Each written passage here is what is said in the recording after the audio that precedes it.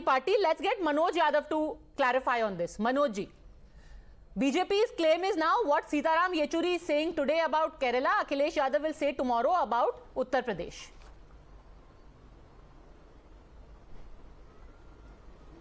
देखिए एक शब्द है India is set NDA is upset और ये अपसेट ही, चाहे वो संजीव वर्मा हो या देश के प्रधानमंत्री, मौजूदा सरकार के हों। सबके चेहरे पे झलक रहा है। क्वेश्चन वो राइज किए जा रहे हैं जिनका कोई मतलब नहीं। अरे आप चुनाव की डेट करो क्लियर सब हम बता देंगे कि हमारा कन्वीनर कौन होगा हमारा प्राइम मिनिस्टर का फेस कौन होगा। आप अभी तक तो तय नहीं कर पा रहे हो। अब तो वन नेशन वन इलेक्शन में जा रहे हो। मतलब हम रिवर्स गेयर की तरफ़ जा रही है मौजूदा सरकार। मैं तो बड़ा दुर्भाग्यपूर्ण मानता हूँ पद्मदास जी कि आखिर बीजेपी के लोग इंडिया कहने में क्यों इतना हिचक करते हैं? नहीं बोल पाते इंडिया। डॉट डॉट कहने से अच्छा पूरा नाम लिया करो, पढ़े लिखे पार्टी से आते हो। अगर नहीं आता है तो मैं बोले दे रहा हूँ। Indian National Developmental Inclusive Alliance, इसका यही नाम है। अगर हिंदी में कहोगे तो हिंदी में बता दूँगा। लेकिन पता नहीं क्यों जबान ऐटने और टेढ़ी होने लगती है। मैं तो बड़ा हतप्रम मानता हूँ कि भारत का नाम लेने से मनोज जी एक छोटा सा सवाल पूछना चाहती हूँ। कल अखिलेश जी ने खुद बोला था। कल अखिलेश जी ने खुद बोला था जब उनसे पूछा गया सीट शेयरिंग होनी चाहिए? उन्होंने कहा था हाँ होनी चाहिए जल्द होनी चाहिए। आपको नहीं लगता कि भाई तीन महीने हो गए अभी तक सीट शेयरिंग का ही कुछ फिगर आउट नहीं हुआ? थोड़ा सा अजीब नहीं लग रहा आपको? आपको लग रहा होगा कि अभी सीट शेयरिंग मीडिया पैनल में नहीं आया? हमें पता है कि सीट शेयरिंग तो हो चुकी है।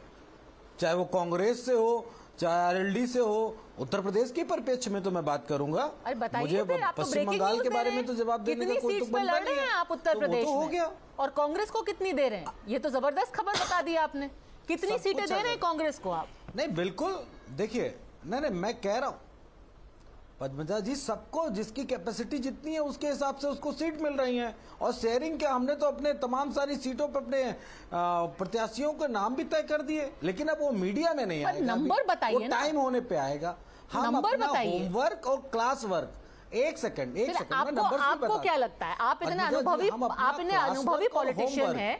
आपको क्या लगता है कांग्रेस को कितनी सीटें मिली होंगी?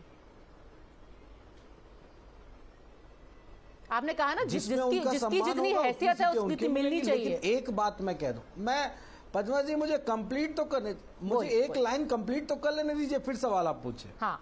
हम अपना क्लास वर्क और होमवर्क बिल्कुल प्रॉपरली कर रहे हैं एक हम्म। बात। दूसरा जो उत्तर प्रदेश की 80 लोकसभा की सीटें उस पर 80 सीटों पे कांग्रेस लड़ेगी 80 पे समाजवादी पार्टी लड़ेगी 80 सीट्स पे आरएलडी लड़ेगी।